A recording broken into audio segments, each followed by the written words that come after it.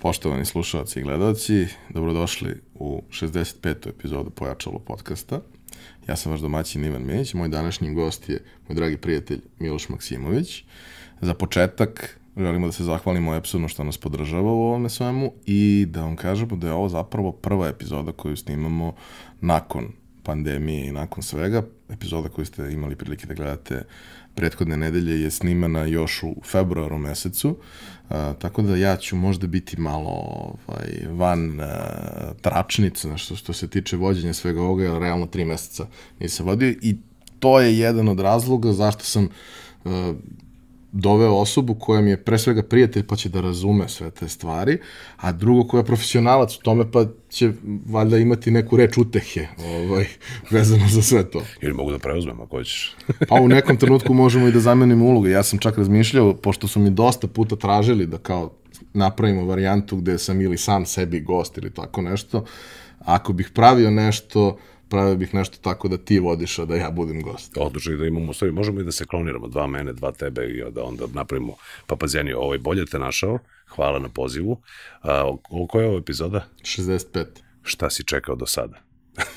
A, čekao sam priliku u kojoj će mi trebati upravo ovakva asistencija. Da, jedan, zato što, jedan mir unutrašnji koji... To, to, to, spokoj, ovaj, jedan duboki glas, jedan čovek. Jedan čovek. Uh, Znaš šta je situacija? Situacija je da uh, kad praviš nešto na, na duge staze, kad praviš nešto što želiš da ima više stotina epizoda, ti imaš ljude koje želiš da pozoveš, ali ne smeš da ih ispucaš sve u prvih 20 jer ćeš imati ono, pad. Osjećam se ekskluzivno sada, sve ti oprošten. Šalim se, ovaj, to, to mi je bila ova ideja da te pitam šta si čekao do sada, jako ovaj, volim to što radiš i pratim i, i kao što verujem mnogi slušalci i gledalci znaju i prate na, na kanalu a, Pojačala, a, družimo se i sa preduzetnicima i na Bini i meni je i čast i zadovoljstvo i da, mogu da potvrdim sve što si ranije naveo, prijatelj, brat, e, drugar, saradnik i tako dalje. To je jedan poseban odnos, dragi slušalci gledalci. Ove, ovaj, ne znam kako bih ga definisao, ali kad me Ivan pozove šta god da je u pitanju, ja da izbacimo šut ili da se snimamo, ja sam ovaj, ja sam tu, Olin. A, ti si i bio glas pojačala kroz sve explainere, ti si čovek koji je vodio sva pojačalo druženja, sada smo malo na pauzi sa tim, vidjet ćemo kada će se to nastaviti, mi se, jeli, nadamo ovaj, što pre, ali ti si faktički deo priče od početka i zašto si ti deo priče od početka, a ići ćemo kroz celu tvoju karijeru, ali zašto si ti bio deo priče od početka, a ne neko drugi? Zato što si ti jedna od redkih osoba sa kojima ja zaista mogu da kažem ok, ovaj deo posla ja prepuštam njemu i apsolutno me ne boli glava. Hvala, hvala ti na tome. Ja sam se trudio da kroz život skupim određeni broj takvih saradnika i ti ih znaš sve i tu je Stefan, tu je Miloš, tu je Nikolina, tu su i neki eksterni saradnici, ali upravo je stvar u tome da si ti vrhunski profesionalac, što mislim da je kao dosta dobar preduslov da uđeš uopšte u neku priču sa preduzetništvom, jer mislim ako nisi profesionalac kada radiš za nekog, nećeš biti nikada radiš za sebe.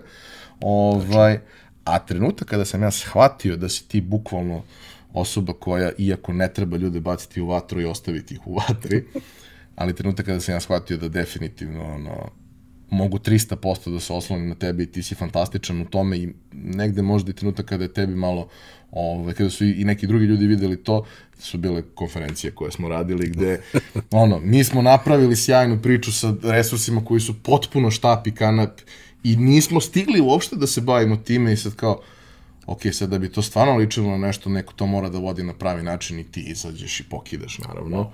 Hvala. Bez obzira na ono što, što to traje satima i satima i danima. Mislim, niko nije brojio, ali dva dana po 10 sati na bini, ali ko broji? ko broji, ako a posle, mislim, ako pričamo o tome šta se dešava posle i da postoji ono treće polovreme svega toga Tako i je. da treba ustati ujutru posle 9. No dobro. Hvala. Hvala. Ovaj, ja, ja ću samo kratko da se osvanem, uh, upravo tako ti imaš tu sklonost i jako dobro ovaj, biraš ljude sa kojima provodiš dosta vremena meni je to fascinantno. Dakle, oko tebe postoji tim ljudi, veliki tim ljudi koji nebitno šta je projekat i nešto čime se bavite, to funkcioniše. I hvala ti što sam deo tog tima. A, sad, kako smo se ti i ja upoznali? e, doći ćemo do toga kroz priču, ali e, te neke prve informacije koje ja imam o tebi preko prijatelja, poznanika i svega ostalog, ja sam treba da, da li, da li sam ja trebao da gostujem u jutarnjem programu ili, ili tako, tako nešto je bilo. bilo. Tako je bilo. Ali sećam se ta, tog momenta, uh, ja dolazim kod tebe, ti, si tad, ti tad imaš 30 godina, Znači, mlađi si nego što sam ja sad u suštini. To je pre 20 I, godina, sam znam. I situacija je kao, kao da Max, on je super, da? E, znaš kao da on ima, mislim, veliku decu kao u tom trenutku. Kao, a? Kad je, kad je stigao? Ka, kakvu veliku decu? Pa kao ne znam, ima, imaš 30 godina i imaš sina od 11 koji sad ima 21 i o, ogroman ima ovoliku nogu ima. Da, kao Šekon je 49 broj. to je strašno. I sad, uh, jako bih voleo da podeliš sa mnom tu priču iz razloga što ti si klinac, kome se to dešava da sa svojom tadašnjom devojkom u srednjoj školi, uh, ona ostane u drugom stanju u vreme koje je užasno u, u svakom smislu. Divno. Ima jedna ilustracija koja tačno pokazuje koliko je divno. Završi pitanje, ali upravo, upravo ta, kako taj moment. To, kako je to, kako je to izgledalo? Pa to je izgledalo ovaj, traumatično, s tim što čovjek valjda ovaj, potisne, potisne loše stvari, pamti samo dobre, mada obično se kaže da se, da se pamte samo minusi. Ti mene danas, evo sada, kad me pitaš, šta je to sve nešto bilo teško, ja ne bi mogao to sada da se setim, ovaj, ali to jeste pomalo čudna situacija da ti tri meseca nakon mature pojaviš se ponovo u Hajetu i ovaj sad u drugoj ulozi. I sad ovi kao konobari gledaju, ja kažem daj mi ono moje, oni kažu otko ti ovde, ja kažem pa eto tako, tako smo ovaj krenuli. Čudno je jako, a traumatično dodatno zato što je vreme bilo baš nekakvo, to najbolje ilustruje činjenica da prve sirene koje najavljaju vazdušnu opasnost se dešavaju dok ja ja sam bih rekao dojim, ali glupo, ovo je dok ja držim mog sina od četiri meseca u naruči dajem mu mleko na flašicu. I tamo je Smeralda progledala i to su posle ukinuli, to je druga trauma koja se, koja su tu desila. Dakle, ti ne možeš da budeš spreman na to. Ja dolazim iz porodice ovaj, gde prvo mislim da ponosan sam jako na, na svoje roditelje koji su i meni i mog brata čini mi se jako dobro vaspitali gde uvek se snosila odgovornost i prosto gradila se ta neka uloga odgovornosti, pravdoljubivosti, istinoljublja i, tako dalje. Ovaj, sad ja malo, malo karikiram, ali prosto to nije bila varijanta, ja šta ću ja sada da radim, nego hej, ovo je sad ovaj, novi par cipela, idemo da ih, ovaj, da ih nosimo i to je kao skok u hladnu vodu. Ja sam dva meseca pre nego što, što mi se to sve ovaj, dešava, odnosno postojem otac i muž, ja uh, sam već počeo da radim za platu u tvom omiljenom klubu.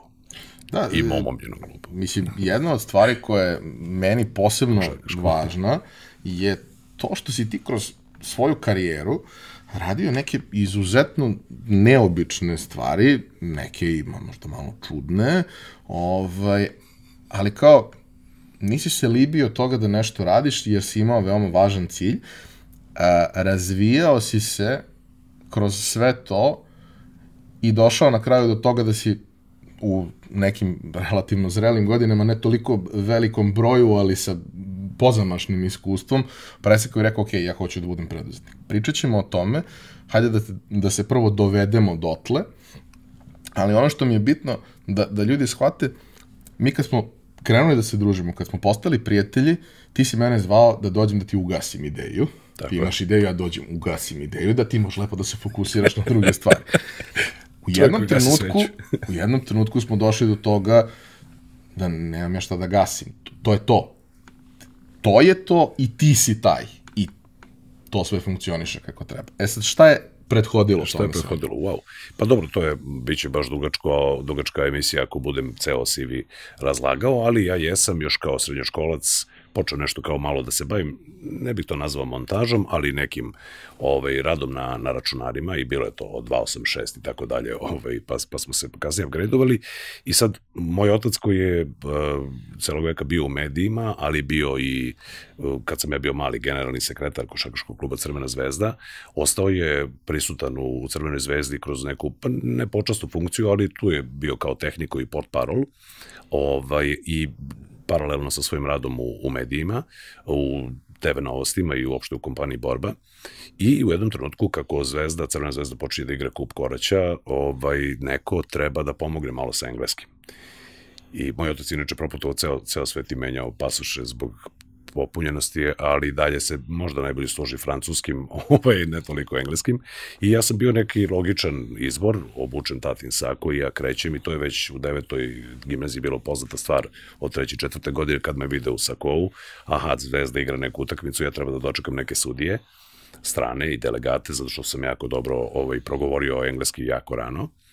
I nisam, ako mogu da se setim, nisam zloupotrebio to sa sakom zbog nekog kontrolnog da nije bilo utakmice, prosto bilo dokazivo da nema.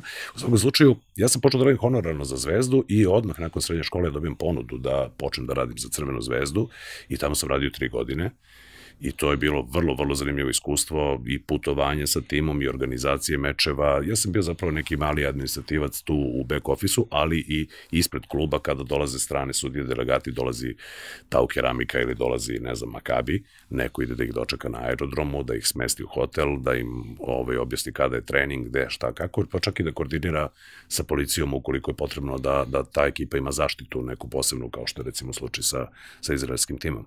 I to je jedno neverovatno iskustvo, mnogo nekih letova, mnogo nekih anegdota, mnogo nekih dobrih i divnih poznanstava i zaista ove ljudi sa kojima sam radio i dalje sam sa nekima prijatelji do današnjeg dana, to je jedna toliko lepa priča, toliko bogato iskustvo koje mislim da ne može da se, da se opiše. Međutim, nakon tri godine, da sad prelazimo, kad kažeš radio sam čudne stvari, zaista kada se pogleda moj CV, on ide nekako ovako kao sinusoida, ide gore dole, sve jedno različito od, od drugog.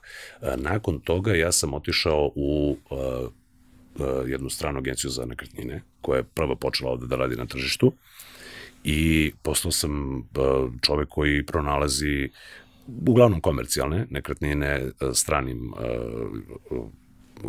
bože, zablokiramo mozak. Stranim rentijerima, tako je. A, I a, to sam radio, pa ne, mislim da čak nije ne bilo puni godinu dana, kad mi se ukazala prilika da, hej, ja imam za klijenta Južnokorejsku ambasadu. I sad, ja sam imao dobre ove, uslove ovde u ovoj agenciji za nekretnine, međutim, kako to ide i uslovljeno nekad i nekom provizijom i vremenom, a ja umeđu vremenu postavim ponosni otac i drugog deteta, dakle, ako to želite da pratite, kad imate 22 godine, treba imate dvoje dece. I onda sam čekao 24 da pa da vidim šta treba tu da uradim. U svakom slučaju, ja postajem otac po drugi put i sad zgodnije bi bilo kad bi bio neki fiksni tu priliv na koji čovjek može da se osloni. I meni padne na pamet da pitam ovaj, korijski diplomate da li možda ja trebam kao resurs. Gde su oni rekli, pa ti si prekvalifikovan, šta ćeš ti da radiš? Ma rekao, šta god, dajte da vidimo samo šta ima. Baštovan. Baštovan. Oni najbolje prolaze u filmovima, gledao sam. Ovaj, u svakom slučaju, ja a, tada postajem tu neki kao administrativni saradnik i mali od volana, što je u, u dve godine bio moj posao. E sad malo je to čudno, znaš, ja sam navikao da me vide ljudi u pioniru, da ponekad prevodim na konferencijama za štampu, jedan put ja sada radim nešto što je, pa kao ovaj čovjek je za volanom, vozač i tako dalje, međutim to je bilo ovaj, sve fair, časno i na vreme, naučio sam čak i par nekih korejskih reči, kao i inače što mi imamo običaj da učimo stranci, ja sam naučio par psovki, a nećemo sad ovde da ih poronjamo zbog južnokorejskih, odnosno korejskih gledalaca. Ovaj, I to je bilo isto jedno zanimljivo iskustvo. I onda nakon toga ja vidim neki oglas za banku, ne pominjem banke, a i ne pominjem imena agencija, nebitno je, ali jedna banka koja je imala fluktuaciju kadrova. Prosto često su bili oglasi. Rekao, ajde probam. Da pošaljem ja CV. Inače, ja sam imao, rekao bih, ovaj, dosta sreće, da god sam poslao CV i hteo sam da se zaposlim, ja sam dobio posao. Ovaj, tako barem deluje i sad kao da ovako ja to romansirano ovaj, ovaj, sažmem. I ja se javim na oglas za neku sekretaricu u banci. I dođem tamo i oni vide da ja ovaj, znam dve, tri više od toga i kaže, hoćeš ti da budeš zamenik šefa administracije bio jedan postavljen zamjenik šef, šef administracije, što je podrazumevalo koordinaciju 25 filijala, nabavku kancelarijskog materijala, otvaranje novih filijala, milion nekih drugih stvari. Nakon čega sad ću da pogrešim, trebamo vjerovatno da otvorimo ovaj CV i da ne ubijemo gledalce i slušalce ovaj, pre svega ovaj, celom ovim pričom. Nakon toga se desio a, i a, Kordi magazin, gde sam radio na prodaji evo što sam rekao brand, ali jedan magazin u kome sam radio na prodaji oglasnog prostora, pa se desio i Interex, gde sam bio opet ja ali ne, evo, ne postoji više firma, izvinite, ovaj, gde sam bio sourcing manager i na kraju sam dobio posao da flotno prodajem Seate, na koji nikad nisam otišao, a, jer je umeđu vremenu postao porodični biznis i krenuo da raste. Moj brat se bavio advertisingom, a, imali smo billboarde širom grada, ne u prevelikom broju, I onda sam ja krenuo ponovo da se na neki način bavim prodajom, ali kroz porodični biznis i gradili smo te neke megabordove na zgradama. Dakle, idemo od prevođenja engleski preko real estate bankarstva i tako dalje, dolazimo do čeličnih konstrukcija, to je ovako vrlo zanimljivo. I e, negde e, paralelno kako se širi biznis pa se otvara čak i neka druga grana koja ima veze sa kozmetikom, ja vidim oglas na televiziji ja vidim oglas na televiziji, vidim na B92, traži se Vremenko. Vremenko et b92.net. I ja jedno tri dana, pa to je sigurno namešteno. Pa to je kako, pa da ću ja da radim na televiziji. Inače, za, da tako kažem, za, za ove razgovore možda je bitno da kažem da sam ja probao te 98. kada sam postao otac, ja sam probao i na FDU, ali se nisam dovoljno dobro spremao, a kao klinac sam bio u nekim glumačkim sekcijama i nešto kao malo glumatao. I ja ovaj, negde imam tu neku izgleda poremećenu unutra želju da se pokažem drugima i da nešto ovaj, žongliram pred, pred objektivom. I ja vidim oglas za vremenka i tri dana ja to veće moći biti, neće biti, ban daj da pošaljem, šta sad. I ja pošaljem CV, ovaj put sa tri slike, da se to vidi kako se ja smejem i pozovu me na probno snimanje i ja od nekih 30 kandidata dobijem dobijem taj posao i onda dve nedelje sam bio vremenko i onda usladi poziv zbog glasa i kao, jel bi mogu ti da vodiš vesti? Ja sam rekao, ali ljudi, ja nisam novinar, mislim, ja nemam kako ja da vodim vesti. Ti dođi, pročitaj, nauči, mi ćemo malo te našminkamo, to lepo prezentuj, posle toga skini šminku i idi radi svoj posao, pošto sam rekao da dolazim iz, iz privatnog sektora, da tako kažem, i to zaista tako krene. I onda to počne da se usložnjava, dakle to nisu bile samo jutarnje vesti, nego i vesti u podne, i vesti u šest, bilo su i centralne, pa nekad i večernje i tako dalje, tako bliže. Ta karijera krene da, da, da raste. Sad kad pogledamo snimke kako sam ja tu izgledao sa crnom kosom, te neke 2007. više nije to tako davno, ali dosta sam ovaj, promenio boju umeđu vremenu. Dosta si ostario. To se ostario. Ti baš običaj da kažeš da sam lep i stari. Pa? Le, lep, stariji jedan gospodin. Stari, lep. nek bude samo stari. Ovaj, jer lepota je u oku posmatrača. ovaj, u svakom slučaju, sad kad pogledamo te snimke, to je to izgleda čudno. Dakle, na meni je neprijatno da se vidim ja, vidi ga ne zna ništa, vidi kako izgleda kao klinac neki i tako dalje. U svakom slučaju, ja vodim vesti nekoliko godina, zatim počinje emisija Stanje nacije, koja je vrlo zanimljiva, zato što ima, ima traje 24 minuta, a efektivno traje 16, kada oduzmeš reklame, džinglove, istraživanje tržišta, odnosno javnog mjenja i tako dalje, a imaš da su prostavljena stava, koja treba da se tu nešto sučele, I tu je bilo dosta zanimljivo da sad ne imitiram neke glasove, ali je bilo, ovaj, bilo je ovako dinamično. Mislim da sam izgubio 10 kila dok sam, dok sam vodio ovaj, tu emisiju. I onda kada je trebalo da počne nova sezona, ja se odjavim iz toga, vratim se ja opet na vesti i tada u nekom trenutku Gorici Dragan čuveni odlaze na Radio Beograd i ja dobijem priliku da možda vodim dizanje na radiju i ja to ovaj, prihvatam, ispostavi se da to ide ok, to sam radio dve godine, tu smo se negde i upoznali. E sad, kako to držiš slušalice na glavi, a još od malena si imitirao Mićka Ljubičića koji imitira ljude koji, ovaj, koji nešto govore, ovaj, naučiš malo bolje da kontrolišeš svoj glas.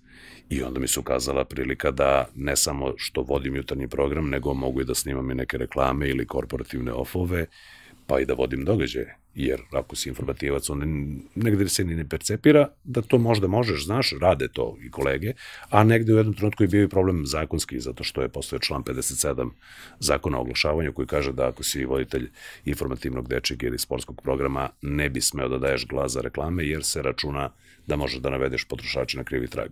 Jer ako ja kažem, dragi gledalci, počeo je rat i kažem, predsednik Srbije, to, to, to i to, dovešći vas u zabludu oko, oko ovaj... Ti u nekom oko... trenutku kažeš da je neki prašak dosta dobar. Upravo to sam da kažem i mm. kažem te Ja ovom čoveku verujem. Da, jer ti prosto da, kupuje, kupuješ, ovaj, kupuješ pažnju veruje ti se. Ovaj, srećom, taj član je posle izbrisan. U svakom slučaju, ja sam ovaj, radio na, na, na, na radiju dve godine i onda dolazi do smene tu, dolaze Dare i Mare. Ja odlazim u penziju ovaj, na neki godinu dana uh, i onda sam uh, dobio poziv sa prve i onda odlazim na prvu i tamo ovaj, počnem da vodim ponovo informativu u okviru nekih emisija, tačno 9, tačno 1, pa posle čak i centralni, pa onda noćni žurnal i onda u nekom trenutku e, mislim da sam tamo bio četiri ili pet godina, možda četiri, ovaj, prosto nije bilo više tamo ideja, a ja nisam hteo više da radim informativu jer sam imao problem sa tim offovima i tako dalje i, i, i snimanjem reklama. Kažem sada, taj član ne postoji, tada je još postojao i nije bila neka pametna ponuda tada, ovaj, ja sam otišao odatle i otišao malo više u preduzetnike.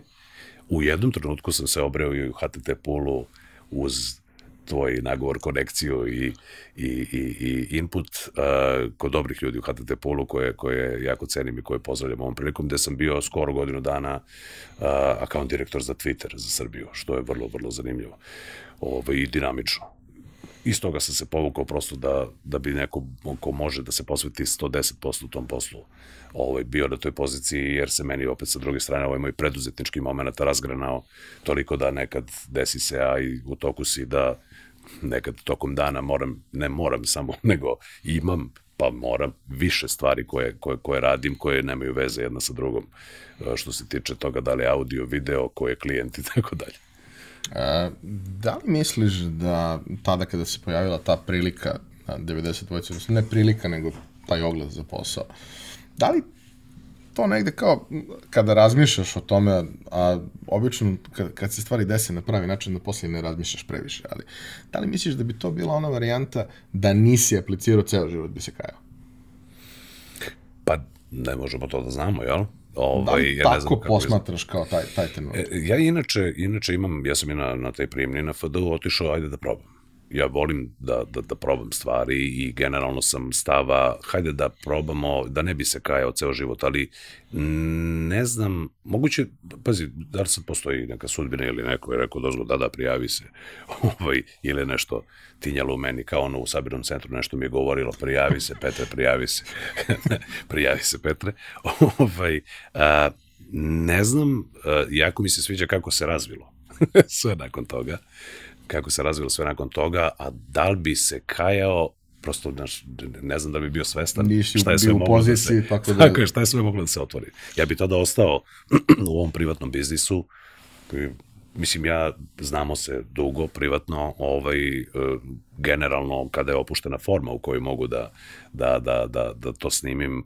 e, malo se razlikuje to od toga kakav sam ja inače privatno. To je Jovid Leptirić. Ovaj, na, na sto strani mozak bi tako nekako brzo radi. E, hoću da kažem, e, ja bih bio jedan veseli mladić u privatnom biznisu, porodičnom, a ne bih imao mogućnost da utičem na vas ovim glasom sada, ili da me da me ima u crtačima Sunđer Bob ili ne znam uh, ovaj, pingvini sa Madagaskara što računamo svoje u neke od svojih najvažnijih trenutaka u životu. Uh, ono što je meni sjajno kod tebe je što, ok, ušao si, nećemo kažemo iz nužde, ali bila je situacija takva da je podrazumevala da preuzmeš odgovornost, a... Malo kao, poranilo sve. Pa, Malo dobro, poranilo. ali ono, od starta si ušao u to vrlo ozbiljno i posvećeno. Ali mi je sjajno kako si e, kroz život prihvatao razne neke izazove i nije ti bilo teško da učiš. Ok, bio si i mlad. Ti kažeš, dobro, to kao s televizijom, pa nije to bilo toliko davno. Pa nije ni da nije. Mislim, i u tom trenutku kao ti sam sebi deluješ kao klinac i to, pa imaš 27 godina i vodiš informativni program. Da. To što ti pre toga imaš već 8 godina nekog prilično onako intenzivnog iskustva, to, to je priča za sebe. Ali posebno taj moment da ono kao, ok, pojavila se prilika, interesantna je, nije te strah da uđeš u to, uh, ne potpuno nepoznato, ali nedovoljno poznato da, da ti kažeš o, ja se osjećam komotno, ovo meni je ovo super, ja sam za ovo 100% kvalifikovan, kao, ne, ući ću i učit ću usput i mislim da je ta stvar dosta bitna da takav mindset dosta dobro prolazi kasnije kroz to preduzetništvo. E sad, baš taj moment kad si ti prvi put krenuo da razmišljaš o tome, ok, radim ja nešto i to nešto ima neka plata, nešto ili honorar, ili to je sve ok, ali ja bi ipak hteo da probam nešto svoje. Rekao si da i tvoj burazer, ono, pravio svoje preduzetničke priče kroz sve to, kroz, kroz da kažem, to i taj vremenski period, u nekom trenutku si i ti krenuo sa tim idejama, ne potpuno oblikovanim, ali i u njih si se, koliko se ja sećam, prilično onako investirao i emotivno i vremenski. Kako si krenuo da razmišljaš o tome šta su bile ideje, zašto nisu uspele? Zašto tebi deluje da nisu uspele? Uh, pa, sad kad krenem da to premotam u glavi, znaš, ja sam, uh, moj otac ima sjajnu priču ovaj, koja se upravo ovaj, bavi ovim, odnosno tretira ovaj, ovaj, ovo, ovo pitanje na neki način. Uh, njegov lakmus papir je bio zemunski otpad, gde on odvede mene i odvede mog brata pre tradicionalnog bureka u pekari Petrović, subotom, ujutru, onako tražio nešto da treba mu neki metalni deo, ali da testira kako se ponašamo mi u datom okruženju, što se saznaje godinama kasnije. Moj brat je bio vrlo nezainteresovan na tom otpadu, ja sam odmah našao nešto što vidi ovo liči na pušku. ovo bi moglo nešto bi, moglo, kao kroka u, u majstorskoj radionici. a, a, prvi, da kažem, takav neki iskorak. Hoću da kažem zašto sam ovo što ispričao. Mnoge neke ideje su mi padale na pamet, uh, još dok sam bio i klinac. Uh, haloglasi kao koncept. Nisam ja sad izmislio toplu vodu i svaka čast i ovo i onoj tamo kompaniji firmi, ali sam razmišljao o tome na taj način malo ranije, naravno bez znanja šta tu još sve treba, kako i tako dalje da se, da se to uradi. A, mnoge neke ideje su se i rodile i otišle dođe, nisam te ni zvao da ih ugasiš, jer kao, znaš, pre, e, preradiš. Ceo koncept i kao, a to neće raditi zbog toga i toga, a neke su bile delimično uspešne ili, ili, ili malo više uspešne. Prva je recimo, u trenutku kada ja vodim radijsku emisiju ili vodim dizanje, ja imam malo više slobodnog vremena, jer ko ustaje u pola pet da bi u šest mogao da priča, u 9 je završio sa svojim radnim danom, dok vi polako dolazite svi ostali na posao, ima ceo dan malte ne slobodan, a od uvek volim automobile i nisam mogao da iščekam da, da položim a, sve vremeno za, za, za B kategoriju i od uvek sam gutao e, podatke o automobilima, dakle, džente motori, pa i top speedovi u nekom trenutku vrele gume i tako dalje. To se nećemo sada o tome, ali možemo kasnije, ali da, i sad, i sad, znaš, upijenje tih nekih informacija, gledanje i Top Geara i koje čega drugog, a, znaš, morišeš neke podatke potpuno idiotske, koliko je obrtni moment onog tamo automobila koji možda nikad nećeš ne imati u rukama, ali, ali dobro. I ja, dok se vodio dizanje, pada mi na pamet, u tom periodu, kažem, dok sam vodio dizanje, da bih mogao da možda pravim uh, YouTube emisiju, uh, to je sada pred 10 godina, ovaj, da ja testiram automobile i gre sad monetizacije, ti si upućen, ali da, da objasnimo ovaj, i našim slušalcima i gledalcima, ja odmah nađem sponzore, jer ok, ja to želim da radim, jer volim to da radim, ali ajde da vidimo ko će to nešto negde da plati i dakle ne idemo na broj viewova, ne idemo na, na, na te neke varijante, nego idemo na, uh, ok, automobil kad se kupuje, neko bi to mogao da podeli kroz leasing. Ajde da vidimo koji bi to leasing mogao da prihvati neko bi mogao da preporuči ulje i maziva, a u jednom trenutku sam našao i lokaciju. I onda je bilo, počinjemo iz određenog dela grada, gde, su, gde je novi blok zgrada, gde ja to pomenem kroz jednu rečenicu, dakle kao product placement, odnosno ne kao product placement, pre 10 godina, na YouTube-u, zatim kada pričamo o ceni automobila, razloži matematiku ovaj kroz leasing i uh, nije tad bilo ni interesa, niti sam pecao ljude koji, odnosno kompanije koje se bave naftom, dakle gorivare ili gumare i tako dalje, ali sam imao neka tri sponzora i to je fino krenulo. U jednom trenutku Uh, nije nikakav bio potres na tržištu, ali je moguće da je, moguće da to i korelira malo sa 2008. Uh -huh moguće. U svakom slučaju krene tu neko kašnjenje i ja stanem sa tim, odjavi, mislim da sam uradio nekih 16-17 epizoda. Sad kada ih pogledam, imao bi šta šta da promenim, ali to su bili neki pionirski, pionirski pokušaji i taj posao je krenuo pa stao da bi evo oživeo pre godinu i po dana kroz, kroz drugu saradnju sa, sa Infostudom i kroz brand Polovni automobili. Uh, kuriozitet je ti znaš, nebitno je jer ovo ljudi gledaju različite vremena, ali ja upravo dolazim sa snimanja jednog izuzetnog automobila. Dakle, došli smo do toga da radim ono što volim, da uživam u tome, a da je slučajno krenulo, a ovo je zapravo nastavak ovog tog nekog projekta. I bilo je još nekih tu preduzetičkih pokušaja, ali generalno, da probam da se setim kompletnog pitanja, taj stav, taj moment da ajde da probam, ajde da pokušaj nije promašaj, kažem, negde sam tako i vaspitan. E, moja majka je imala jednu od prvih, ako ne i prvu fotokopirnicu privatnu u Beogradu. I generalno i ona i otac su borci. Keva je veliki lavi i ona prosto tako pokretale mnoge stvari. Uh, evo ti sad potpuno jedan sulud podatak, Boeing 737 kada je kupljen od strane Jugoslovenskog aerotransporta, bilo je jeftinije da ga umnožimo mi manual za pilote i, i, i posadu nego da ga štampaju kao knjigu i postoji porodična manufaktura, ja se sećam neke mašine ala Gutenberg, Gestetner koji ovako umnožava neke stranice, a i kopiralo se mi svi idemo ako ću se članovi porodice uz onaj sunđečić i ako sklapamo strane, heftamo i to ide dalje i postaje neki priručak. Moj otac, vizionarski, 10 godina pre toga kupi malu plastificirku u Nemačkoj i sad kao svi na aerodromu Beograd, svi jatovci, svi iz Energo projekta, a pitaj Boga ko još, su imali identifikacije koje je napravio moj tata. Dakle, i čovjek koji imao i posao i ovu karijeru u Zvezdi i tako dalje, dakle, potpuno neverovatno i prosto mislim da je to i genetski, ali do toga kako si vaspitan.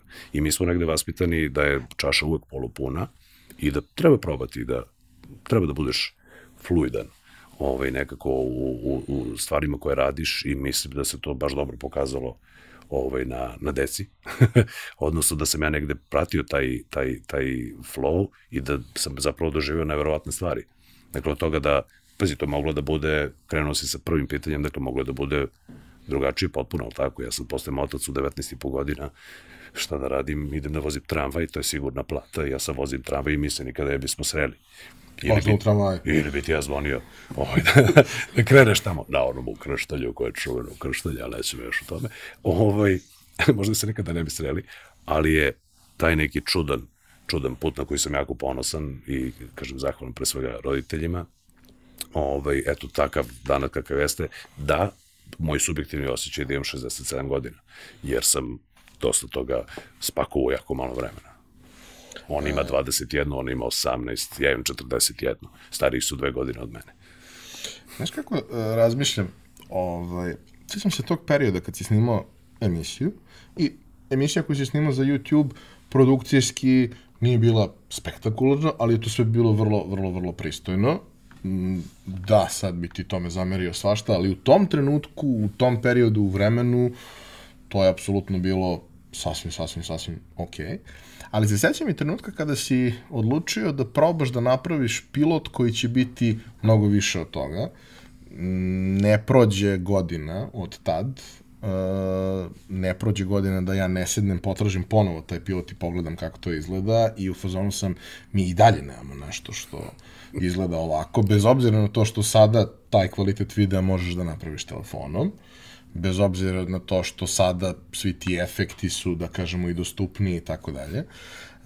Zašto to nije uspelo? Odnosno, šta je bila priča iza toga i zašto to nije uspelo? E, pa priča je kratka i tužna. Ovaj, ja sam tad već, ako pričamo o... Ja sam pokušao sa jednim pilotom dok sam bio na 90 dvojici, tada i sa malo, malo manje znanja iz toga kako funkcioniše generalno televizija. Inače, da se zahvalim uh, Milanu Konjeviću, on je postavio prvu autologiju koja je, koja je ikada snimljena.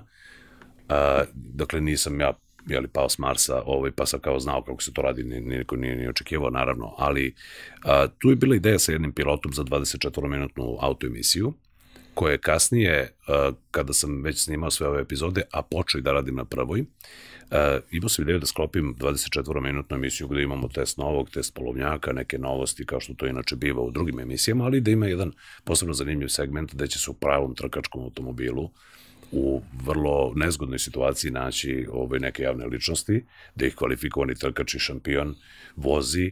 Situacija ne bi bila opasna zaista po njih, ali bi bilo zanimljivo da ih čujemo ovaj, kako odgovaraju na neka pitanja u situaciji u kojoj pokušavaš da držiš ovaj, i, i glavu i gaće i ruke i noge sve na, na isto mesto.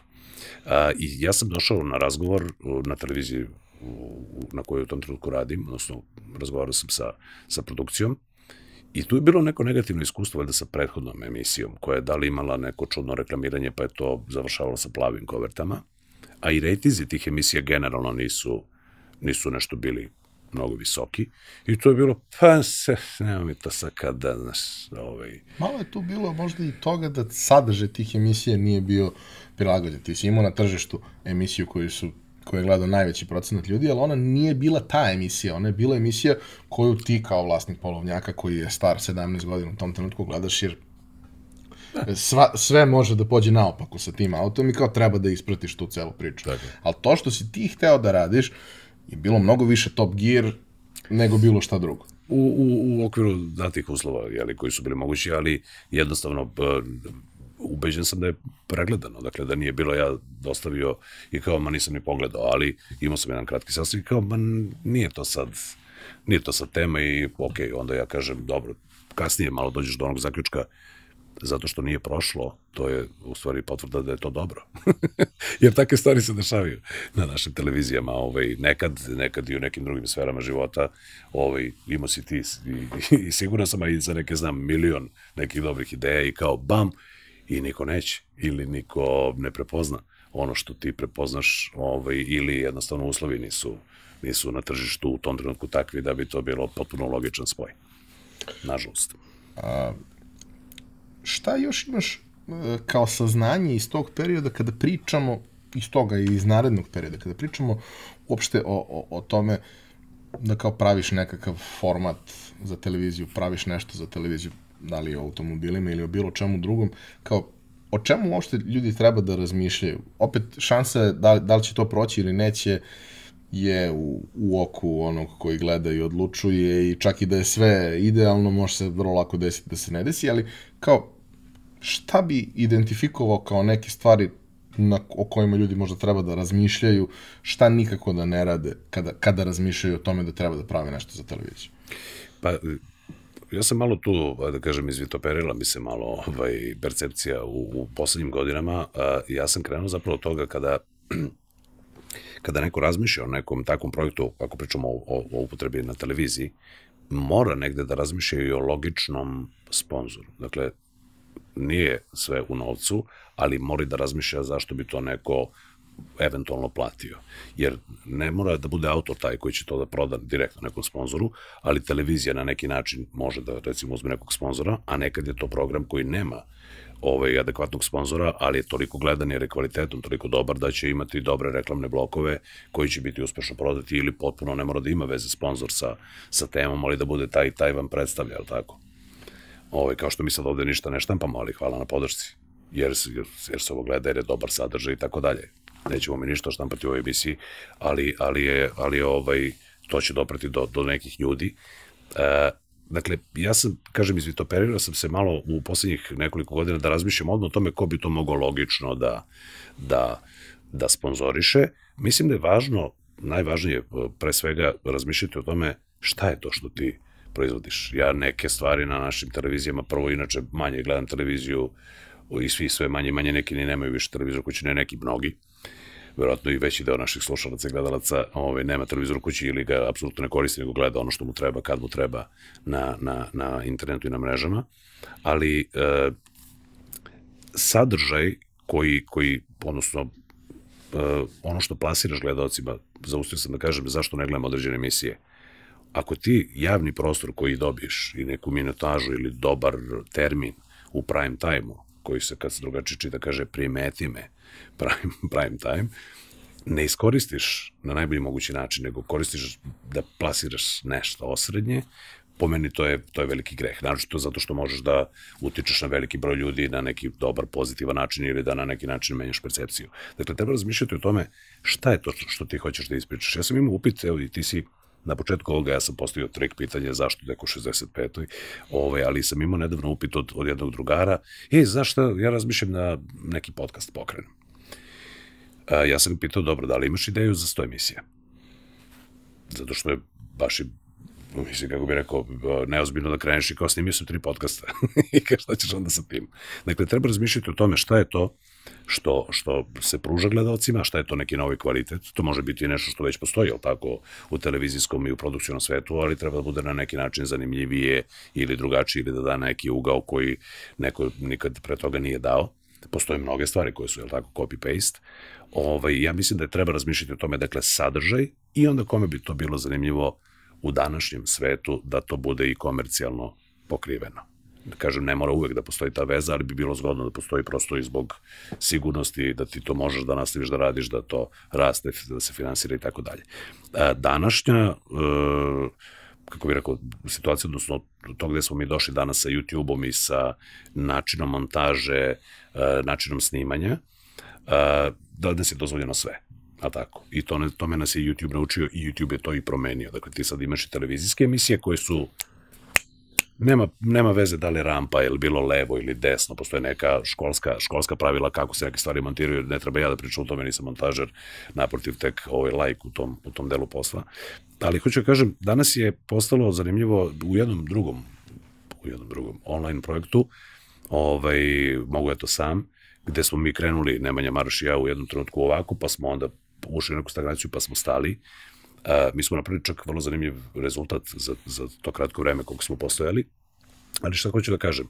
Dakle, uh, videli smo da nam broj view-ova, broj subscribera na YouTube-u ne raste toliko kao onim ljudima koji zapravo rade razne gluposti na internetu. Dakle, postoji čovek koji, ne znam, razneće lubenicu petardama ili će nešto drugo da uradi, svaka njemu čast, on ima ogroman broj view-ova, on ima ogroman, ogroman broj subscribera, dakle gledalci i, i ovi koji, koji ga prate, ali po meni taj sadržaj, osim što je kao ponekad i meni zabavno, ha, vidi šta je uradio, e, nema neki drugi dodatan kvalitet. Plus nema baš toliko različitih vrsta velikog voća koje može da se... Tako je. Boston. Da, Bo, i... ok, Lubenica, Dinja. To, Boston i... Celtics, to je to. Lubenica, Dinja i tu se završio. Ovaj, eventualno Ludaja ovaj, ali je, ok, nije, to je samo deo sadržaja na tom nekom kanalu, dakle nije ovo neki stav kao, znaš, eto on ima, mi nemamo, ali ovo, ali prosto uh, moderno vreme je donelo uh, uh, to da, ok, svi imamo sada televizor u ruci, odnosno ovaj telefon, i to gledaju i klinci,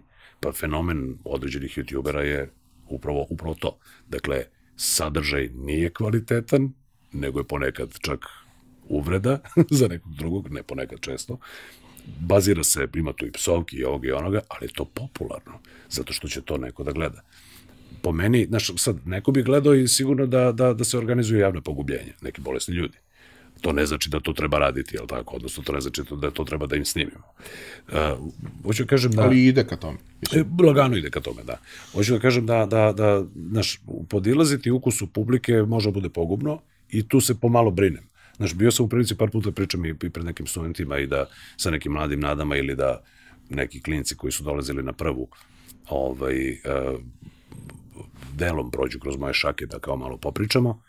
Ovaj, prosto uh, znati svoje izvore, baviti se tim nekim kako bih rekao, pa nije to humanitarni rad, ali uh, na, na polzu opšte čovečanstva i dobrog gledalaštva, da ti kad imaš neki termin da nešto ih novo naučiš ili da im nešto otkriješ ili da ih na kraju dobro zabaviš, šta god, to je ono što mene, da kaže, vozi, što mislim da bi trebalo da bude generalno svrha medija, a ovaj, ako rad, koristiš pažnju i, i, i prosto uh, veliki broj gledalaca da plasiraš budalaštine, to je po meni neoprostiv greh. Naročito, kad, znači, nećemo sad pričamo o, o nedavnim dešavanjima, ali ako si čovek koji, koga prati mnogo ljudi, na bilo koji način, bilo čime da se baviš, ti imaš određenu vrstu odgovornosti. Dakle, postoji YouTube kanal koji je jako gledan, ali koji dovodi obskurne likove u program. I ja znam ljude koji pogledavši tu nešto kažu, pa eno čovjek je rekao. Pa da, ne bi me televizor lagao. Pa davitelj me ne bi lagao, upravo to, da televizor me ne bi lagao, ne, ali gledao sam. I to je ono kao, I did my research, nisi ti druže radio nikakav research, nego si pogledao neki klip na YouTube i sad si formirao mišljenje. O čemu god hoćeš. Jel, možemo pričamo o, o vakcinama, ravnoj zemlji ili da pričamo o... Ljudi, reptilijanci. Reptilijanci.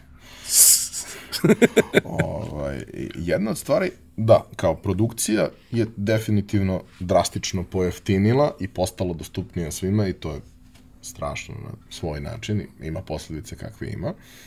Ali na drugi način, da kažemo, kreatorima sadržaja omogućava da zapravo mnoge stvari koje sigurno sebi ne bi mogli da, da, da priušte da probaju, mogu da probaju, pa da vide kakva je cela situacija nadalje. Kada si ti kretao u tu celu priču, u suštini, uspeo si ti da napraviš nekakav modalitet da to živi na YouTube-u sa sponsorima. Danas postoji drugi način monetizacije i upravo jureći te načine monetizacije mnogi posežu za stvarima koje možda nisu okej. Okay. Ali e, u principu, da bi to tada imalo neku specifičnu težinu, ti si morao da imaš neku varijantu na televiziji. Nešto, negde. Kablovski kanal. Sad ima milion kablovskih kanala, pa ima prostora i tako dalje. Ali kako je to uh, funkcionisalo, ako, ako se ja ne varam, volio bi da mi to samo potvrdiš i mislim da ta informacija ljudima može da znači. Ti kada dolaziš da pregovaraš sa televizijom, ti ideš na priču ili da oni tebi ustupe prostor, ili da oni otkupe emisiju, pa da imaju pravo na, da oglasni prostor raspoređuju dalje, koji su generalno ti najčešći modaliteti e, Evo ovako, Vazir, nemam pravi odgovor do kraja. Zašto? Zato što nikad ništa nisam prodao. ali, ovaj, ali sam par puta bio u tim nekim razgovorima i negde, kažem, bolje bi bilo da sam završio jedan od tih procesa do kraja pa da to mogu da opišem, ali ono što ja negde uh, imam u glavi kako bi to trebalo da bude, dakle, televizija, jel tako, mora da pravi neki sadržaj, dakle, ili će ga praviti sama, ili će nešto kupiti, čak postoji zakonska obaveza, pa pogotovo i za nacionalnog emitera, koliko posto bi trebalo da bude iz domaće produkcije koja je nezavisna, koja nema veze sa, sa, sa, sa njima. Dakle, televizija pruža gledalcima, je tako, neki sadržaj koji je ili kupila ili napravila, nekad ga kupi jeftino, nekad ga kupi skupo, zavisi šta je, ovaj, a nekad ga pravi manje ili više skupo ili jeftino. U svakom slučaju, po meni, i ono što sam ja nekada pregovarao, možda se nešto promenilo, postoji taj modalitet da ti to televizija otkupi i da ti plaća neku, neki, neki vid licence, postoji varijanta u kojoj bi moglo da se, da to ne bude nešto mnogo para, ali da se delka, da kažem, deli marketički prostor, odnosno u okviru tih slotova ti imaš neku minutažu, tako dosta nekih... Imaš neku minutažu da ti prodaš. Da probaš, da ti prodaš, ali ti sa tom minutažom onako dolaziš i kao, ok, najbolje da, da odeš kod nekog najvećeg, jel? Ili nekog od većih, jel? nekog najvećeg ili kod najvećeg ili, ili nekog od većih trgovaca tim vremenom i kažeš, evo ovo, tu ćeš naravno da uniziš malo svoju cenu i da to negde daš u, u, u taj, ovaj, u, tako nagomili ili varijanta u kojoj, uh, evo, daćemo ti termin, ali to mislim da ima malo više veze sa, sa kablovskim nekim emiterima širom zemlje i tako dalje. Daćemo mi tebi termin jer im treba zapravo popuna vremena. Nemamo šta ti damo, ali evo tebi sve te reklame i vrtećete 30 puta. Dakle, postoje neke emisije za koje ja znam koje se vrte na 135 kanala u zemlji, za koje ti ja sad ne znamo da ih nabrojimo i ne znamo da postoje. Neke televizije su dole svinjac, gore čardak, levo studio. Sve ok, kapa dole na trudu, možda imam tu neki dobar program, ali ih ima zaista dosta. Ovaj, I kažem, kod takvih, onda ja samo daj nešto da vrtim i daj da, da popunim program. Kažem, voleo bi da sam završio barem jedan taj proces do kraja, da sam ovaj, osmislio ideju, napravio, prodao je televiziji, pa da onda mogu da ti kažem, evo viš, moj dil je ovakav. A, krećeš u priču s polovnim automobilima, s tom pričom se koketiralo i sa, i sa polovnim automobilima se koketiralo godinama, ali u nekom trenutku krećeš ovaj, da radiš razne neke stvari sa njima i razne neke ideje za razne formate. Imaš sad emisiju koja ide redovno, ali ima i mimo toga nekih stvari koje se tu dešavaju. Um, kako je došlo do te saradnje i, znaš kao, sada si napravio saradnju sa nekim ko je opet veoma značajan igrač na tržištu, ali to nije televizije i to nisu televizijski budžeti i tu opet moraš na neki način da se adaptiraš celoj situaciji i da probaš da za razumnu količinu novca proizvedeš nešto što je zaista interesantno. Ja ne volim da gledam testove automobila, ne volim da pratim šta ima novo i sve srećan sa mojom Octavijom i neću da je menjam i u nekom trenutku ću uzeti novu Octaviju, sledeću Octaviju, ne novu, yes. po, polovnu, tri godine staru, ili Superb, šta god. Ali kao, generalno nisam neko ko sad kao gleda mnogo tih testova, ali zaista nije što si mi prijatelj, krenuo sam da gledam te stvari i jako mi se dopao način na koji to radiš, zato što je veoma, veoma pitko i vrlo mi je prijatno kako to sve izgleda. Pričamo o nečemu što produkcijski, čega se u principu pa ni televizija možda ne bi postidela. Hvala. A, forma koja je, da kažemo, ne, ne stegnuta time da mora da traje 24.00. Tako je. Ali koja opet ima neko, neko svoje svedeno trajanje i sve ostalo. Kako je došlo uopšte do, do, do te priče? E, ko je e, inicirao da do nje dođe i, i kao da li si ti dobio platno pa sad daj ti smisli nešto i ispoliva, ili je došla sa konkretnom idejom? Kako je izgledao taj ceo proces? Dobio sam platno i crno i zlatno. I onda je bilo... ovaj, pa ovako, ja mislim prvo ovaj, da je, da je uh, Bane uh, Grković, PR polovnik automobila, da on postavio kljusu. Dakle, postavio kljusu, stavio komad mesa tu i čekao me. Ovaj, ja sam uh, ranije razgovarao sa našim poznanicima iz, iz polovnih automobila i negde smo mi koketirali sa tim šta bi, kad bi, kako bi to moglo i tako dalje. Međutim, nije se ništa desilo, nikad nije to bilo ni konkretizovano na pravi način. I u jednom trenutku pozove mene Bane na, na kafu, u stvari, ja njega pozovem da kupim ovaj okvir od njega. I ovaj okvir sam ja kupio od Baneta Grkovića, jer mi se svidio i to većina ljudi koji gledate testove na, na polovnim automobilima pitaju gde ima da se kupite naočare. I to je influence jedan na jedan. Da sam uvezao 200 ramova, 200 bi ih prodao, mada možda, kako to hoće Marfi, možda bi sunce prestalo da sija. Jer za ovo postoji front koji, koji ovo pretvora sunčane naočare. Zovem ja Baneta i kažem, Bane, gde si kupio one naočare, ja bi to da... Kaže, negde u Zemu, no, hoćeš da ti prodam ja ove moje? Malo noše, nosio sam ih tri puta, da neku ok cenu i kažem, pa hajde, izbiću njegove prozore, stavit ću moje prozore i mi se nađemo i on u jednom trenutku ta kljusa se zatvori oko medveđe noge i on kaže, šta mi da radimo sa našim YouTube kanalom? A pošto postoji tih 17 mojih epizoda od ranije, jel? Ove, od, u tom trenutku od pre nekih 8 godina, na, na, na YouTube, kažem, pa znam čoveka. Evo ja znam čoveka i mi krenemo, zapravo je koncept bio nešto širi, ti, ti znaš, ovaj, uh, ja sam u jednom trenutku nabavio, nije prvo i nije bilo poslednje i neće ni biti jedno veliko terensko vozilo, pa mi je ovaj, palo na pamet da zakačim prikolicu za njega i da doterujem automobile iz Nemačke i da to YouTube-ujem.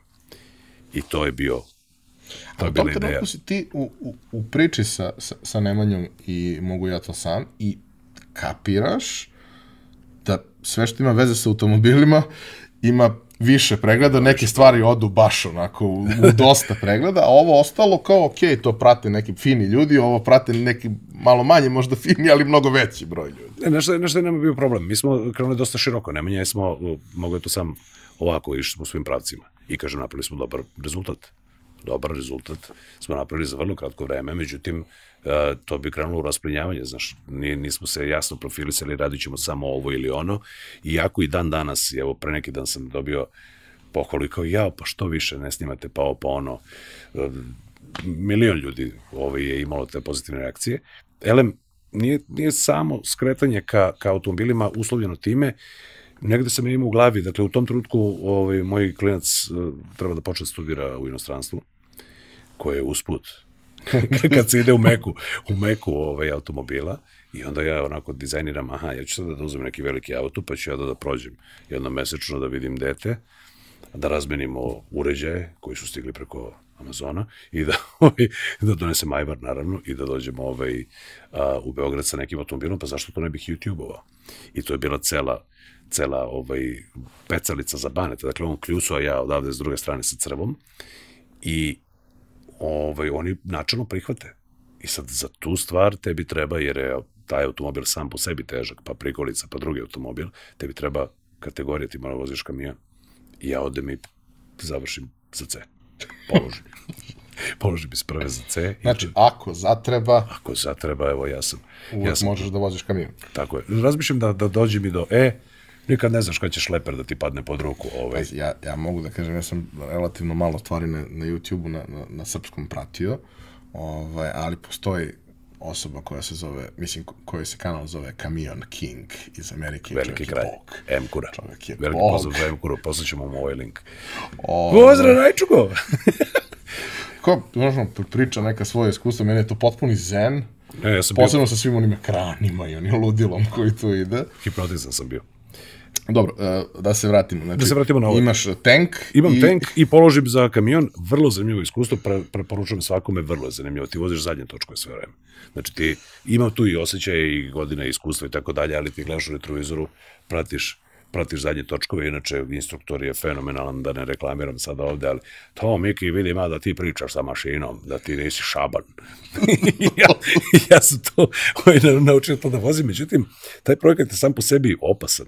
Dakle, da odeš do Nemačke, vratiš se, to naravno mora traje nekoliko dana, zahtevno je vrlo, beše zima kada je to trebalo da počne se realizuje. Sad ja kažem, ajde da ne idemo po prvi auto tako što kao krenemo kao entuzijasti, ja položio super sve, nije da nisam vozio nikad auto sa prikolicom i prevrnemo se negde, znaš, i onda ovaj, nije mi, nije mi... Ali imaš snimak. To, Ali to, to, bi gledano. To bi bilo gledano, da.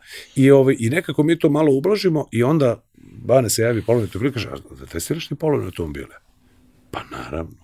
Zašto da ne? I mi smo onda ovaj, krenuli tu saradnju. Dakle, impuls je malo sa moje, malo sa njihove strane, ali našlo se razumevanje i jako sam ponosan na tu saradnju, jer to je jedna e, vrlo dobra, velika, zdrava kompanija koja je zmaj na tržištu i jako mi je drago da imam privilegiju da radim sa kompanijom koja je u tom delu objasnila, što bi se reklo narodskim, narodskim ovaj, rečikom i inače sam, e, mogu da kažem, imao sreće, negde okolnosti, nekad sam to zaslužio svojim radom, danas imam prilike da radim sa najvećim kompanijama u određenim sferama, da li to nekad samo zbog glasa za reklamu, nekad je da im vodim događaj, nekad je da nešto drugo uradim, a, ali mi je zaista, kako bih rekao, ne bih rekao neko posao do zbog kockice, mnoge stvari se tu i zaslužuju, ali to mi ispunjava srećom i unutrašnjim mirom i jako mi je drago što sam danas u toj fazi da to mogu. Dakle, taj projekat sa polovim automobilima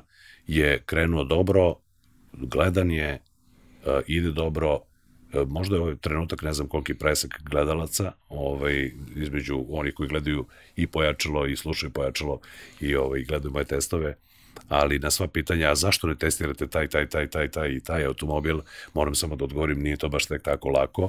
Jedna stvar je kada uzimate automobil od uvoznika koji postoji na stanju, koji je kasko osiguran, koji može da se proba, iako se kanal zove i firma polovni automobili, a mi često testiramo i nove, kada testirate polovnjake, pod jedan možemo ući u konflikt interesa, ima dosta placeva koji ih prodaju, pod dva, a, nije to baš uvek registrovan auto, a zbog našeg... Na placima vrlo često, zapravo. Vrlo da. često, 99%. A zbog našeg zakona, koji je malo čudan, ti ne možeš da izvodiš uh, problem tablice za isti automobil dva puta. Da, da, možeš jednom. I sad mi izvodimo jasni. I napraviš problem onome ko hoće da kupi. I dođe kupac iz Kragujevca da vozi automobil iz Beograda i trebamo šlep.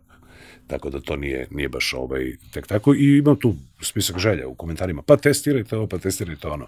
Neko čak i nudi svoj automobil, imali smo i tih slučajeva, neka smo i prihvatili, ali malo ljudi zna da, da treba da se oprosto od automobila na tri dana.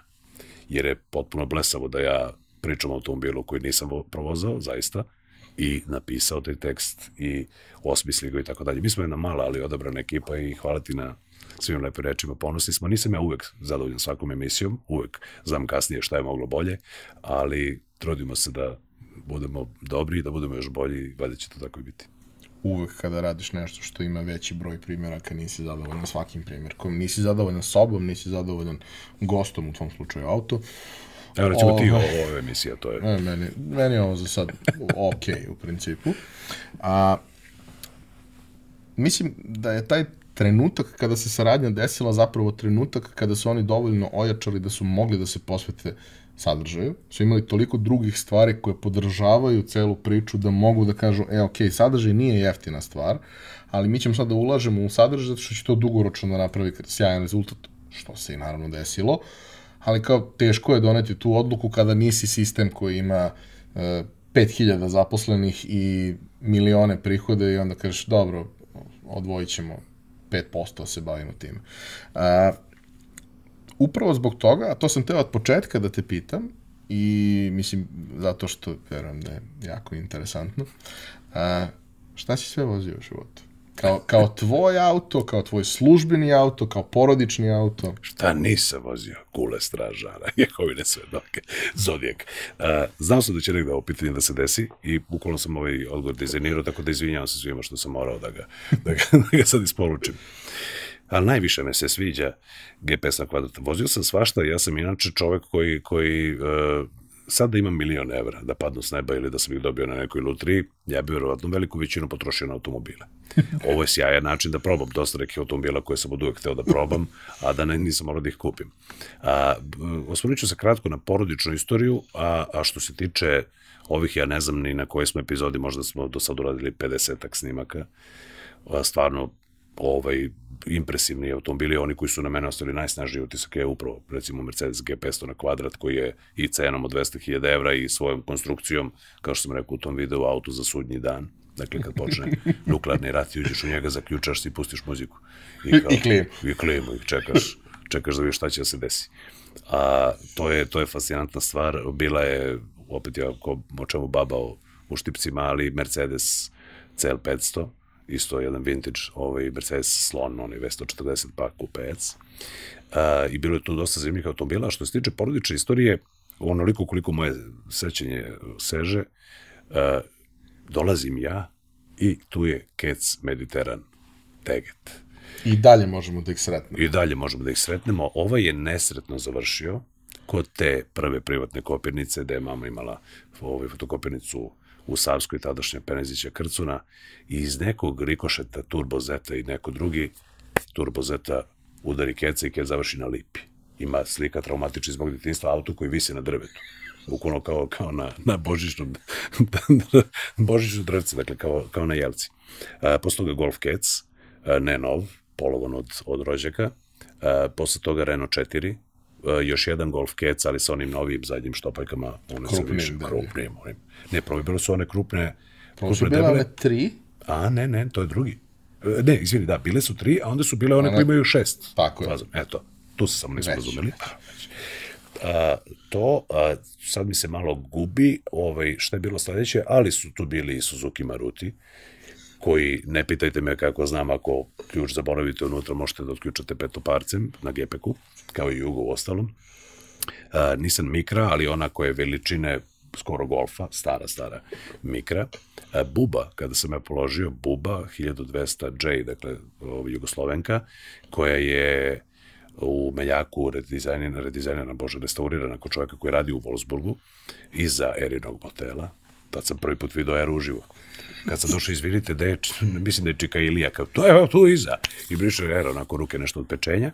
Dakle, restaurirana buba sa širokim gumama Jugoslovenka, koja bi trebalo da ima samo migavce u braniku, ali ih ima na moj zahtev original i na blatobranima, koji smo delili brat i ja. Uh, on je tad ima, čini mi se, devojku u Novom Sadu. Ja krenem sa bubom u gradu, ona sama ide za Novi Sad. Traumatično iskustva. Traumatično iskustva, zato što je on, jeli kao stariji brat, imao više prava na taj volan. Uh, dakle, buba, Maruti, uh, Mikra, i onda ja postajem uh, uh, samostalac i uzimam Jugo, uz pomoću roditelja, uzimam Jugo novi, kreće bombardovanje. Jel? novi. Novi Jugo. Brisač, menjač, lajst. znači, tempo 1-1, jel? Koji uplatim, odnosno plaća se i kreće bombardovanje. I kao, je li ostala fabrika, je li ostalo nešto? Ostalo je, ko je hteo, mogo je da nastavi, prilazim jugu sa strane, novo ovako, vidiš da nešto nije u vingu. Dakle, s jedne strane, kod vrata gepeka možeš gurneš palac, s druge strane čačka. Isto i kod haube, nebitno. Jugić jedno vreme, a, imaju i zanimljivu registraciju, posle Jugića a, skačem a, u Dačiju, Logan, mislim da znaš tu priču, nemoj sada da, da trepćeš. Nije sram, da je sramota imati Dačiju, ljudi bi se rađali sa Mercedesima. dakle, ja sam hteo da kupim Octaviju na leasing. I u tom trenutku iskače mi neki privatni, ovaj, privatna investicija u okviru porodice koja ja kao bi trebalo, I ja kažem, ok, nema sa tih para, ajde da vidimo šta ima. I ja odem i kažem, dobar dan, ili imate ovu sa svom opremom? I Airbez i, i sve ostalo. Ima, dajte dizel. I ja sam se jako dobro služio sa njom. Moj Logan je dosta toga pretvorio preko glave, na kraju završio kod mojih roditelja. Uh, nakon Logana Ford Mondeo Caravan, kad mi Caravan više ne treba, zato što ja, vjerojatno bi imao šta da kaže neki psiholog na, na, ja volim veliki auto. Da ne, ne ulazimo sad u tumačenje, ali volim, volim veliki auto, M ostavlja određeni utisak na okolinu, M si sigurniji, više te uvažavaju i tako dalje. Sad ja vozim karavan, ne treba mi karavan, ali ja vozim Mondeo 2.0 dizel i to sam vozio, eno ga još je živ kod, kod mog kuma. A, posle toga, a, kakva promena, a, Dodge Nitro, U, sećam se, to, to je baš bilo strašno. Dodge Nitro, odlično bila ponuda. Ko će da uzme auto sa 2800 kubika? Evo ja ću. Evo ja ću. Dodge Nitro, posle Dodge uh, Fiat Bravo, bez motora, 1.4 sa, sa fabrički ugrađenim plinom, dakle vidi brdo pre tebe, mislim da se sećaš tog plavog brava, i onda nakon toga uh, Škoda Rapid, ali hatchback, dakle ona malo lepša, uh, i posle uh, Škode Rapid uh, Nissan, Pathfinder, i posle Nissan, ako nešto nisam ispustio, evo sada Jeep Renegade. Sjećam se uh, ovaj, trenutka kad ti dolaziš sa, sa Pathfinderom koji izgleda bukvalno kao Sećaš šta si rekao? Se sećaš šta, šta si rekao? Vratile se 90. Dobro, mislim da sam imao taj stav kad je bio Nitro, posle si mi objasnio šta stoji za te priče i da je to bio način da se ono iz nekog posla izvuče novac koji se ne bi izvukao na, na neki drugi način. Kao, ok, auto je ok, nekad će ga neko možda kupiti, nekad ga je neko možda i kupio i Jest, kao... Zamenio je, se. Ja njega sam zapravo me, menjao za, za bravo i, i novac. Što kaže, usitnio si. Usitnio sam ga, ali bukvalno sam usitnio. 2.8, zapremjena 1.4. I konjaža isto bila podeljena tačno na pola. A šta si vodio na poslu? Uh, na poslu, ako pričamo o poslu u Južnokorejskoj ambasadi, vozio sam E-klasu i S-klasu i C-klasu, ali nisi to pitao. Na ovom poslu, znači, i Range, i Vogue, uh, i pomenuti G500 na kvadrat, E-klasu, peticu BMW, X5, uh, i3, Teslu, koja je prva koja je na srpske table, poslednje je registrovana samo za sve one koji ne veruju i piše po komentarima, poslednje je registrovana ona u Novom Sadu, dakle prva Tesla na srpske table je bila naš novogodišnji specijal, to je isto fascinantan automobil, to bih volao da, da, da posjedujem. A, hajde da probam da se setim. A, Nešto od tih automobila sam. koji su ti bili ono kao e, san iz detinjstva, ono, iz, iz o, godina, formativnih godina. Pazi, ovo nije iz, iz formativnih godina, ovo je uh, ludost. Kia Sorento je, kad ga pogledaš, kao, pa ko bi to, ali ja sam nešto želeo da imam kad se ona pojavila i želeo sam da imam i vrlo je neobjektivan test koji sam objavio, zaista jeste primjerak koji je vrlo čudan, zato što ima dosta godina, ali pravih, ako se dobro sećam, 40.000 km. Nova auto. Nov auto, i ja počinjem taj video sa rečima, možda je vreme da kupite veliki automobil, umesto, jer za pare za koje, ona nije bila ni jeftina, ali za pare za koje bi kupio neki manji automobil, ti zapravo kupiš nešto što ima malo više respekta na drumu.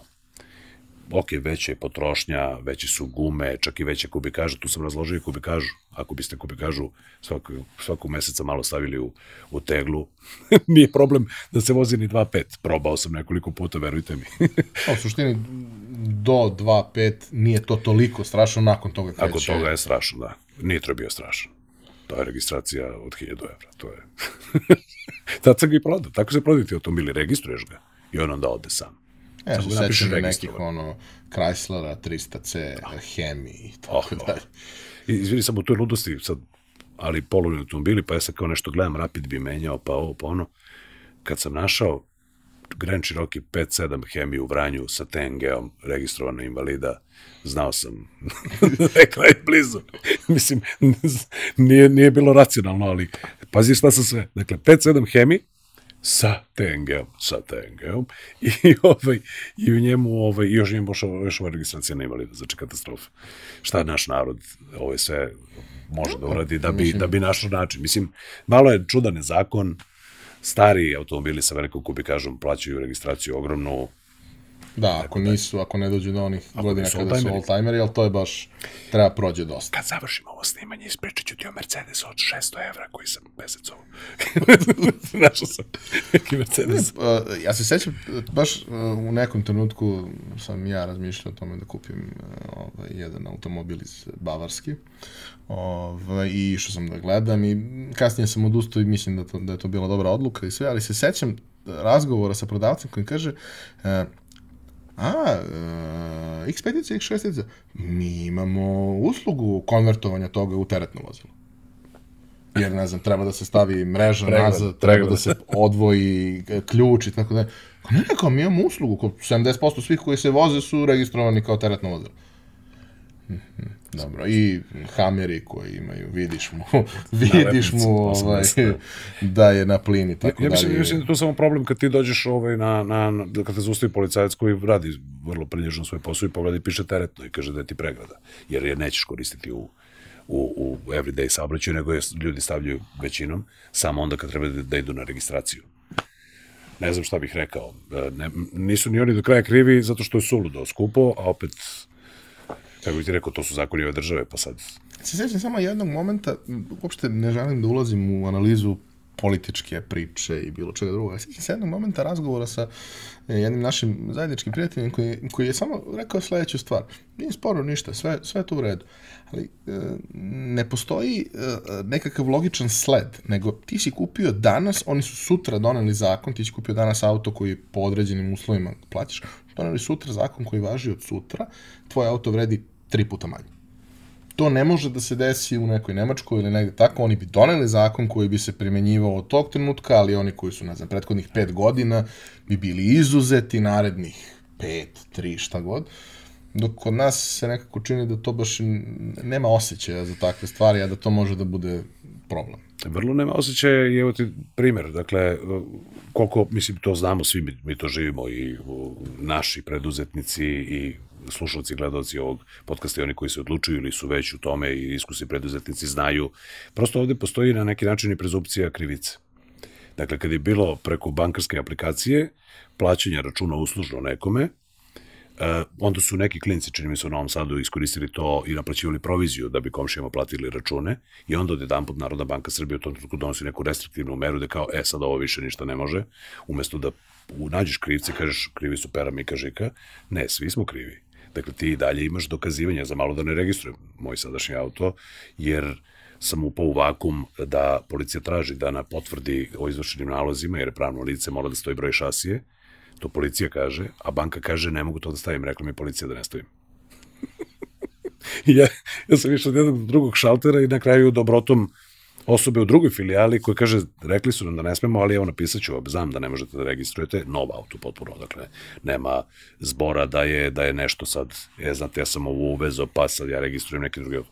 To je prosto prezumcija krivice, jer su se u periodu iza nas registrovani automobili od 3000 kubika, tako što ti uplatiš 1000 nečega, i posle kad ta prođe uplatnica ti dodaš nula i kaže evo ja sam platio 100.000 dinara i daš to u policiju. Sad oni to treba da tragaju da li to pravo ili nije, da li je leglo ili nije i zbog toga svi mi ostali moramo da dokazujemo da je uvek sve u redu u 17.000 primeraka da bi onda dobio neku ćagu, pečat ili tako dalje. Kad budeš to možemo pričati o 7 evra u Nemačkoj. A, Znaš priču sećam se priča o 7 evra i e, Mislim da možda ne bi bilo loše da Vrlo ću ukratko, zato što je, znaš, potpuno je nadrealno, oni mene oduševljavaju, od uvijek su oduševljavali, to manje više svi znaju, ja ako nešto volim da pomenem u emisiji, volim pomenem Njemačku. To, I Njemačko auto. Njemačko auto, njemački inženjeri, inženjeri će spasiti svet i tako dalje. Šta će tebi desiti u Nemačkoj? Vrlo kratko, ja sam ovaj, početkom uh, prošle godine, tako nekako, da, početkom prošle godine sam otišao u Nemačku da dovezem sa, sa prijateljem ovaj, za potrebe njegove firme neka dva autića, kombija. I sad ja kao, bio sam jedan put, dva put to da i znam te, kako ide taj proces i da ne dužim. Dakle, kada se u, kupuje automobil tamo i dobiju se te neke izvozne tablice, e, postoji, čak i kada ne kupite automobil koji ima povrat poreza, postoji neki porez koji mora na, na upotrebu tih tablica da se plati, koji ti kasnije, do, koji vam kasnije dođe na kuću. I meni stiglo neko pismo, ja nemački vrlo ne znam, volim da se pravim da znam, iz, mogu da imitiram izgovorom, i meni je stiglo neko pismo da je pisalo nešto 7 evra. Ali tom prilikom kada sam ja 2015. bio u Nemačkoj i kada sam razgovarao na, na englesko-nemačkom ručnom sa osobom u, u instituciji da se izdaju te tablice, ona meni tražila moj IBAN broj. Ja sam razumeo da će oni meni nešto vrati ako auto nije imao povrat poreza. Ne bi to. Meni stiglo neko pismo, 7 evra nečega i ja sam to negde fajlirao u glavi. Ja sada, početkom prošle godine, dolazim u Nemačku, treba jedan automobil da se registruje na mene, jer ću ga ja voziti ovaj, samo privremeno do Srbije, i javlja ovaj diler koji, koji je to uzao da uradi za nas, kaže, ne može, imate neki problem. Kakav problem? Ja odlazim tamo u, u instituciju i kažem, dobar dan, ja sam nešto zgrešio, a oni kažu, moment, samo pasoš. Ja kažem, znate, ja sam ovde mnogo puta bio turistički, ali prosljednji put da kupim neki auto pre recimo 4-5 godina. Kaže, oktobar 2015. kažem, tako je, Eslingen, rekao jeste Eslingen i ovako cap kaže, je ovo pismo? Mi smo 250 km udaljeni od Eslingena sada, tu gde jesam. Kaže, je ovo pismo? Kažem, to pismo. Kažem, šta sad? Kaže, ništa 7 evra. I kažem, keš karticom, kaže, kako god. ja ovako dam keš, 10 evra, on meni ovako 3 evra, i da mi kvitung odmah račun i potvrdu da se narednih 10 dana ja pred nemačkom carinom imam smatrati slobodnim čovjekom i mogu da radim šta hoću. Izvolite, ja kažem, doviđenja. I ja odem i registrujem ovaj drugi auto na sebe. Znači, potpuno nikakva kamata, nikakva 55. primjerak, dajte bris iz grla i tako dalje, Cotton Swab i ostalo, 7 evra koje su ostali zapisani u vremenu i 7 evra koji su plaćeni, 250 km od mesta događaja, 4 godine kasnije. I kao, ne, ne, ti si sada okej. Okay i evo ti, i dva minuta kasnije ti registruš auto. Znači, potpuno... Da ti se tako nešto desilo ovde, možda bi se doselio. Da, i mi u se ne celom bi procesu, videli. ono kao, do, doselio bi se. To traje, ne znam, 7 dana, 15 dana. I onda Vidiš što je lepa kuća, znaš, kao dvorište, hm, kao, ajde, ono, kao familiju dođite i vi, otprilike. Tako je. Neverovatno. E, kada bi trebalo sad da podvučeš crtu, mada daleko Nemoj još, od još. crte, ali kad bi trebalo da napraviš nekakav presek, ajde, bila je korona i sve to, ali u nekom prethodnom periodu od recimo šest meseci, godinu dana, šta je to što, što sve radiš i kao šta je nešto na čemu želiš da, da dodatno radiš u narednom periodu. Mislim, ti si sad prilično rastrzan, imao si taj period od tri meseca kad je realno bilo mnogo manje posla i svega i imao si prilike da razmišljaš o svemu, kao imao si, mogo si da složiš sve te kockice koje lebde po vazduhu i šta, si, šta ti je zaključak kad si ih složio? Zaključak je da se treba da imam plac. Neki, sa, sa, dve, dve leje paradajza i, i dve koze. Šalim se, ovaj, pa znaš kako, e, znaš čime se sve bavim, a, možda da de- demistifikujem kratko, dakle ja mogu da vodim događaje, mogu da dajem glas za nešto, mogu da dajem i stas za nešto, radim kviz na, na jednoj televiziji, uskoro će biti još nekih tu, tu projekata, a, i a, šta još? Snimaš? I snimam, snimam za YouTube, dakle snimam reviewove telefona i snimam na jednom ovaj kanalu i snimam uh, testove automobila. Viš kako sam nešto zaboravio. Dakle, kada se desilo sve ovo što se desilo, ti si bio zarobljen sa one strane bare, a ja sam jedan deo tog posla, to su događaji gde se okuplja veliki broj ljudi, pa ja sad nešto to kao govorim Sabine i usmeravam ove govornike, jasno je da ga neće biti u narednih godinu i po dana. U tom trenutku ja kažem, ok, možda ga ne bude više nikad. Srećom, nadu mi je vratilo da se ipak nešto dešava i da neće sve da ode do vraga. A, to što sam imao neke ofove tada da čitam, da, većina su se za- završavala sa ostavite kod kuće. I ostavite kod kuće. A, negde sam slagao Uh, znaš kako, ja mislim da ti to zapravo znaš. Moja jedina profesionalna ne, želja, odnosno neostvareni profesionalni san je da imam svoj show koji bi bio format tog showa. Tržište kod nas je malo, nije vreme sada, nema mesta, niti sam sad nešto kao ili to ili, ili, ili nešto drugo. I drugo mi je potpuno suluda želja da vodim jutarnji program na RTS-u. Zato što ga gleda cela Srbija i zato što mi je ovaj, po formi onako simpatičan. Mislim, malo je nešto, nešto spori nego neke druge Malo je forme. old school. Malo je old school, ali tako to, cela Srbija se uključuje i tako dalje. A, dakle, nešto što bih voleo i što bih, ajde da kažem, u narodnom periodu voleo da ostavim jeste da u nekom trenutku sebi ispunim tu želju kao ja imam neki svoj show. A, vajkao sam se što nisam već napravio neki retreat. Ranije je to postojalo u porodici, sad više ne postoji, ali nešto gde može čovjek da ode na selo, pa čak i da zaista nema više ničega i život kakav poznajemo prestane da postoji na ovaj klasičan način, da ti možda baciš neko seme u zemlju, iznikne nešto, pa umuzeš neku kravu ili kozu i kao, ok, nisam gladan. A, nisam mnogo razmišljao o tome šta bi još redefinisao u ovom poslu, sve je nekako stalo, pa čak i, i, i ova saradnja sa, sa polovnim automobilima je u jednom trenutku stala, odnosno bilo je da vidimo šta ćemo da radimo, snimili smo i klipove i videa koji imaju vrlo veze sa, sa, sa, sa ovom situacijom. Čak smo napravili jednu koja je jako dobro prošla, ne znam da se to ima vremena da pogledaš, koji biste automobil kupili za 3000 evra, gde smo igrali preko Skype-a, ovaj, ja sam se sa kolegama čuo i čak ima, postoji veliko interesovanje za tu formu, to bi možda trebalo još malo da, da u budućnosti ovaj, nagazimo.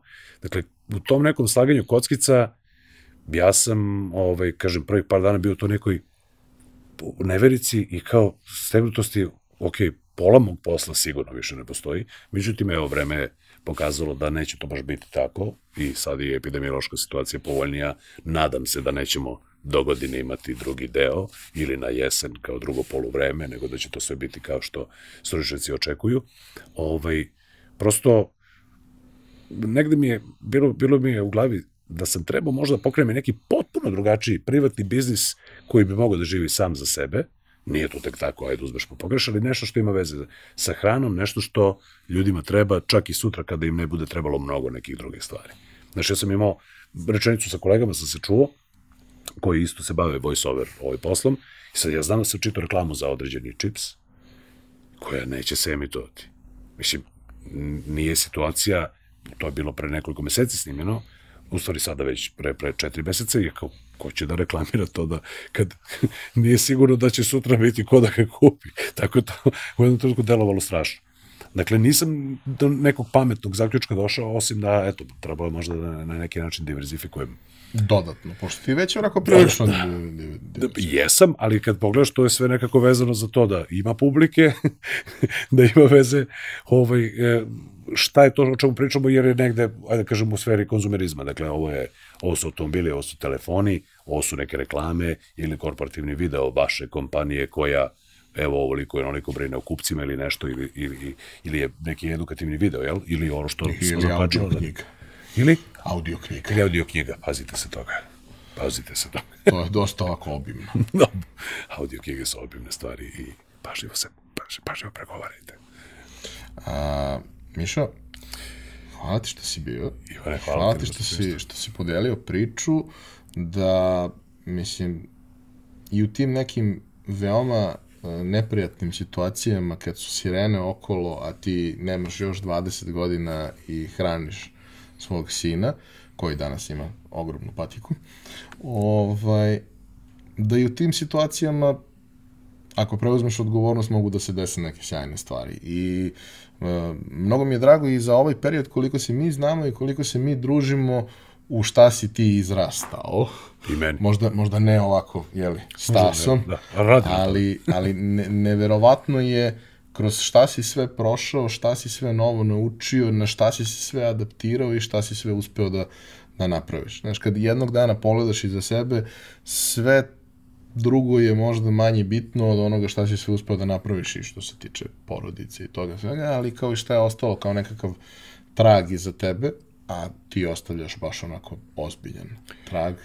Hvala ti, ovaj, za malo da se rasplačem sada, ali da, ovaj,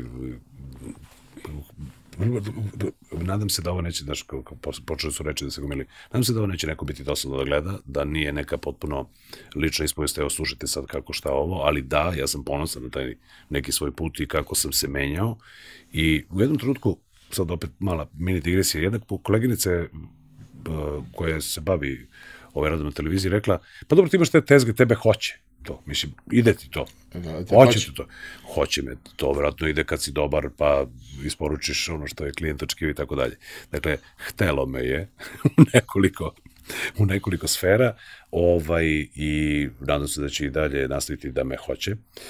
Ovaj, I ja ću se truditi da to poverenje opravda, opravdam, dakle, uloženo ne samo sa tvoje strane, nego i našeg vaskolikog gledalaštva, da se vratim na, na ovo. Dakle, jeste nekako čudna priča sa mnogo sinusoida, šta je sve bilo i zato imam taj subjektivni osjećaj da imam malo više godina nego što imam, ali početak ovog tvog pitanja, odnosno uvoda u kraj, e, čak i kada je čudna situacija kada je teško, ako si odgovoran, ako si čestit, ne govorim da je to sve ovde stanuje, ali ako si odgovoran, čestit, pošten prema sebi i drugima, mislim da se nećeš obrokati i uvek bi je bilo negde na pameti šta bi rekli moji roditelji ili šta bi rekli moji prijatelji ako se vodiš negde tom, ovaj, tim, da kažem, vođicama, male su šanse za grešku, samo što nije moguće uvek ostati u okviru tih tih linija. Dakle, samo hrabro, samo, samo jako i, kako bih rekao, pošteno prema sebi i prema drugima. To je po meni Dugoročno rezultat ne može da izostane. Apsolutno. Ti si meni, kad pomislim na dugoročnost, ti si meni